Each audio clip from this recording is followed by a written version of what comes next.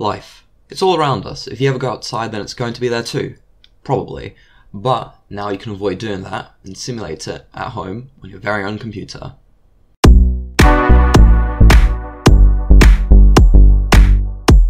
So hey, welcome back to the Evolution Simulator project. Uh, not the final name, but I haven't chosen a better one yet. And if you're new and don't know what the hell is happening, then let me give you a very quick recap. Here's a creature. Let's call him Bob. Bob will one day die, but he can prolong the inevitable by gaining energy, and he can do that by eating these little green pellets. But here's another problem.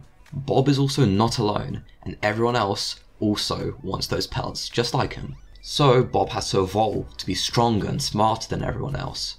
Well, he can't actually evolve, but he can lay eggs that then hatch into children that are slightly mutated or look and act different, and eventually, if you repeat this, his lineage will evolve into hopefully something better. Their bodies can change to be the best, and their AI minds are powered by a neural network that can think of new ways to be better. All this so that Bob and his children become the ultimate species. Well, it's a little less dramatic than that, but now you're caught up, so let's get on with the content. So, this project has been going on for a little while now, and I believe that it's time that I finally open it up and get people to start using it. But I need to fix some things first. The UI is one of the worst things I have ever seen. It looks ugly, it's annoying to use, and it can't really do much. Like, come on, look at this. It looks like someone went on MS Paint and fell asleep halfway through making it. The font looks out of place and way too oversized. It says so much, but none of it's important. And the text boxes, don't get me started on those. I want to try and make something that's, first of all, better, but also something that you don't really see a lot.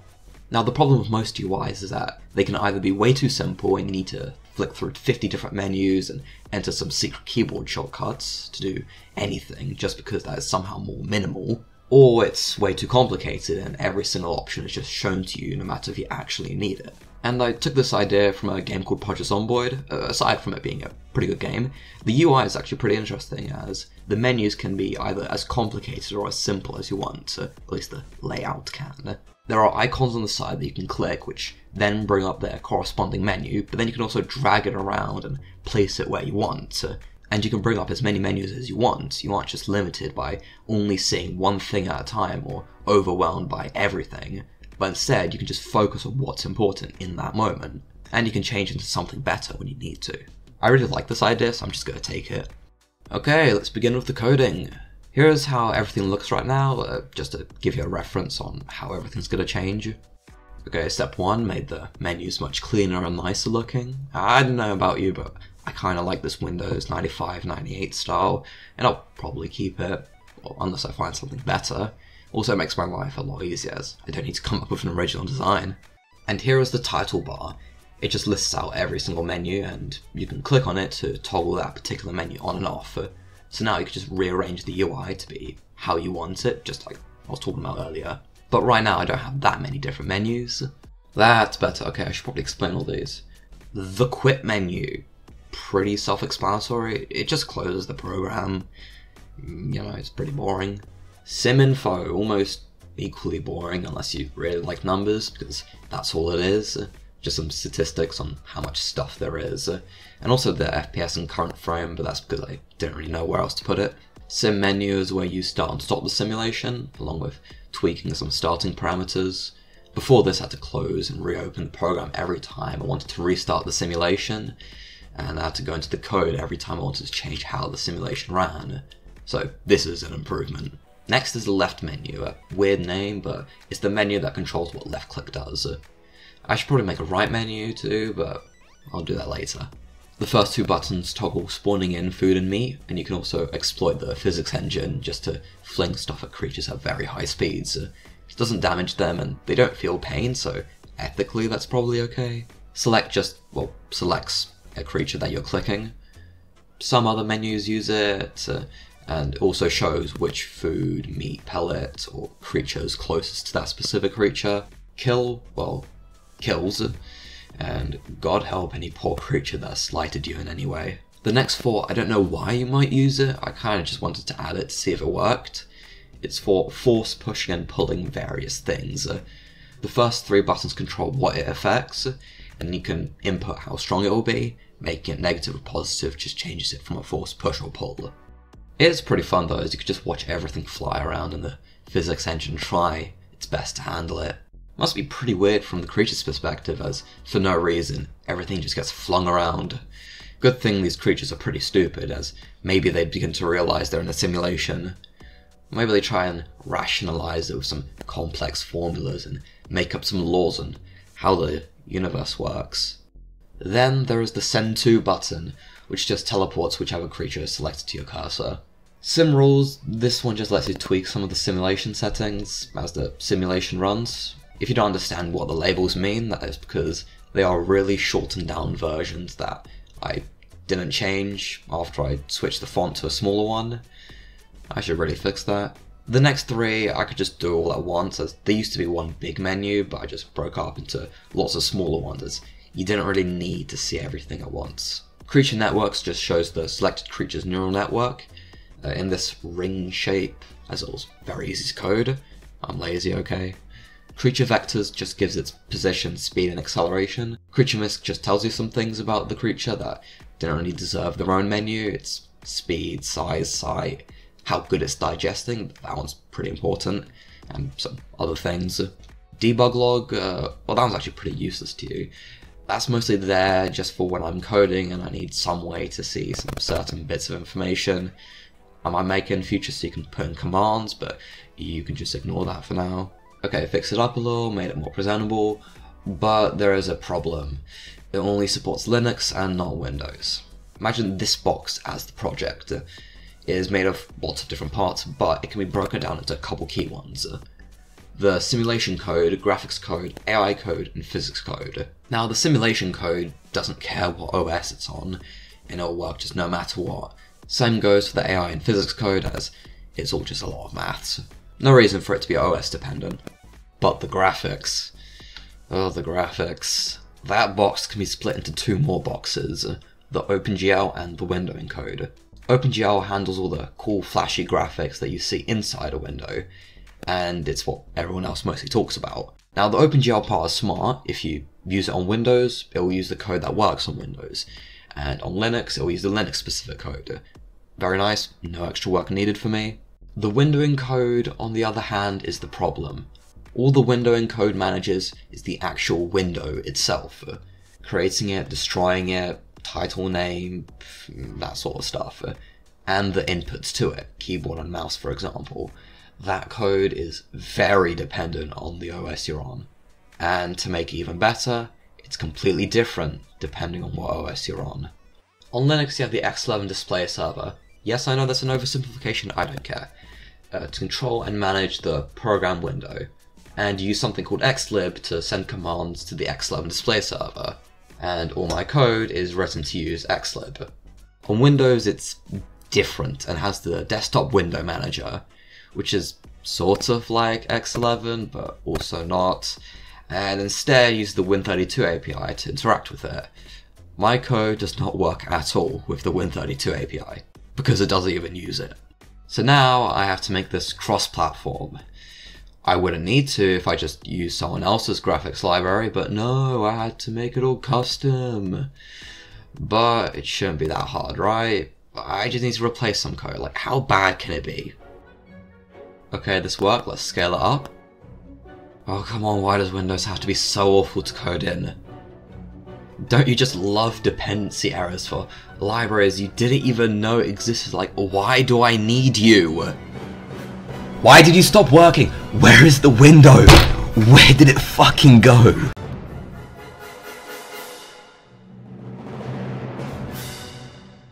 Finally, it's over. It works. I'm not going to get into why this was so painful to do as trying to explain how annoying it is to make your code work on two completely different operating systems but have it so you can still interact with it the same way would make for a really boring video but I'll say that would just take way longer than it should have. I really am just living the sunk cost fallacy. Put so much effort into doing it the hard way that I just have to keep doing it that way. I'm going to have to rewrite the graphics library, aren't I? Just bad design choice after bad design choice. Didn't even use Win32 at the end, I used GLFW. I'm going to try and remove that, make it pure Win32. One day. And later I went ahead and thought, okay, well, at least go and see if this works on other computers. So I went and asked my Discord server, shameless plug I know, but link to it in description.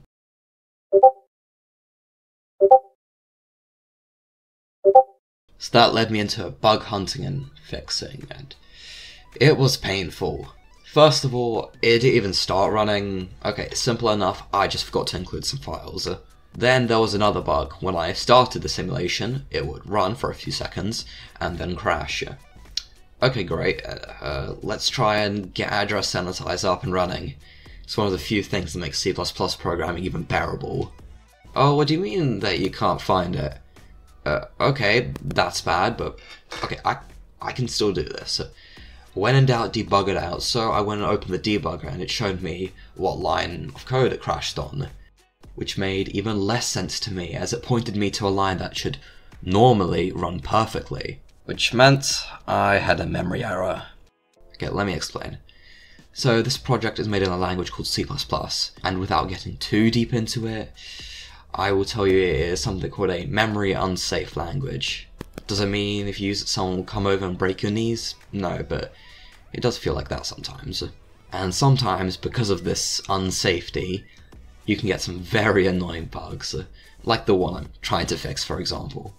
After I found out that this bug will be near impossible to find as it can be anywhere in the code, as I do not program in a safe way, I nearly gave up. But then, I, for once in my life, had a thought. A way to get address sanitizer working. Well, you probably don't know what that is too. Uh, address sanitizer lets me find bugs caused by C++ being memory unsafe very easily, and without it, I would have left C++ for, I don't know, maybe Rust. Yeah, right, like that would ever happen. C++ is also a compiled language, which means that when you have your code, you give it to a program called a compiler, which then turns to code into a program that your computer can actually run. Now, C++ has many different compilers, which I won't get into, but all I will say is that I changed compilers to another one that actually had address sanitizer, and it worked. I enabled it and very quickly found the bug, which was a bug that I had already fixed a while ago. I manage my code using something called Git, it's very useful, and one of its features is that uh, it can be used to have your code uploaded and stored somewhere online very easily. And in this case, GitHub. So here's my code on my PC here, I make a change, and then I can just tell Git to push that change to the online version, and they are synced, and the code there is the same as there, all backed up. And I can go and reverse and download the code from the online version. But this is what happened in my case. A while ago, I found the same bug, I fixed it, but I forgot to push it to the online version. So when I then pulled all that code back down to make the Windows port, I got the version that was not fixed and still had the bug. And by then I already forgot about that, so I put all that effort in for nothing. I sure do love programming. On with the pain now. Here, here are some other nice bugs. Uh, pressing enter froze everything, food stopped spawning in, backspace and enter typed absolutely nothing, everything couldn't stop typing, another memory bug, much easier to fix those, I already had everything set up, the menus would open themselves when the program started, you can type in multiple text boxes at once, everything kept dying, a bug where my code got stuck in a recursive loop giving me a Stack Overflow error. But then, to cap it all off, I got a bug that was different. All those other ones were simple, oh no, I forgot about that bugs. But this one was a different breed.